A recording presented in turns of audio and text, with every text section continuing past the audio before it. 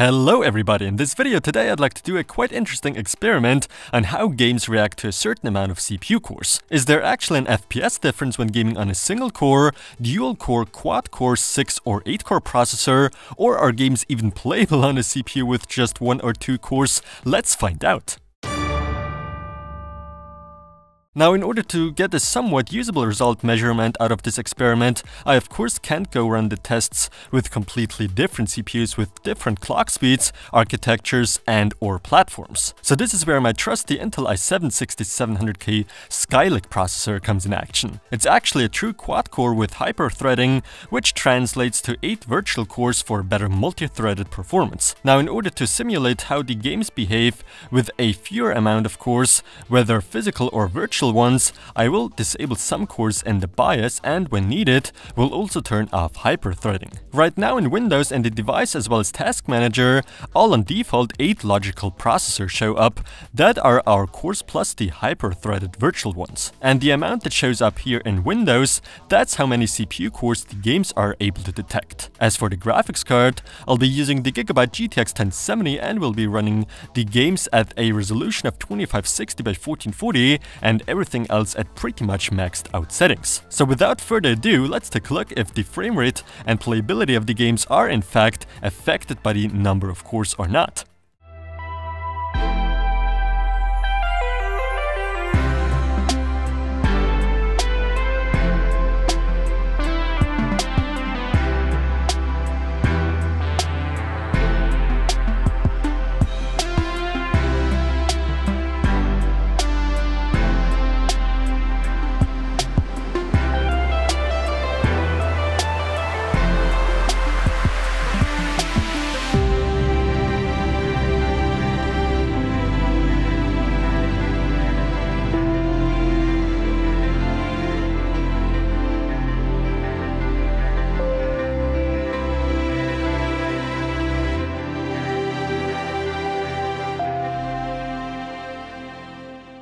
Now the results did not necessarily surprise me. It seems there isn't much of a difference noticeable between an 8, 6 or quad-core configuration, but that is with the same identical CPU at the same clock speeds with the same single-threaded performance in my case. If you let's say went for a true 8-core processor with 8 physical cores, yes you do get more cores, but due to the higher number of such, they are usually clocked lower, thus offer lower single-threaded performance, which means lower frame rates in games. That's why an Intel i7 quad-core CPU of the mainstream lineup most of the time does better in games than the more expensive 6 or 8-core i7 Extreme variants. In games such as Crysis 3 for instance that seem to rely just as much on the CPU as on the GPU, there is a noticeable decrease in frame rate when comparing 8, 6 or 4 cores. And a very drastic change is the minimum frame rate. And in Rise of the Tomb Raider we better not get fooled by the average FPS, take a look at the minimum values too. But clearly in the majority of games it doesn't seem to matter all that much whether you're playing on a quad 6 or 8 core setup. Where things start to get critical is dual cores and single cores obviously. There sure still are modern game titles out there that support dual cores just as well as quad cores, but with every year now, two cores seem to be a critical issue when it comes to playability of the games. Although on paper, basically in the charts, GTA 5 seems somewhat playable especially if you turn down some settings, but in reality it looks something like this definitely a very very bad experience that I call unplayable. Besides the game does take very long for simple tasks like verifying the game ownership and loading into the game. And hey, some such as Far Cry Primal wouldn't even get past the loading screen because it freezes. Doom froze for a while too at the beginning, but seemed to work fine afterwards with good results. Crysis 3 behaves exactly as seen on the charts. I mean, it's playable, but considering the CPU is paired with a powerful graphics card like the GTX 1070, the result is simply disappointing. The Witcher 3 is a game where we would get a high frame rate, but due to the random freezes of a couple seconds, the average frame rate drops by a lot of course.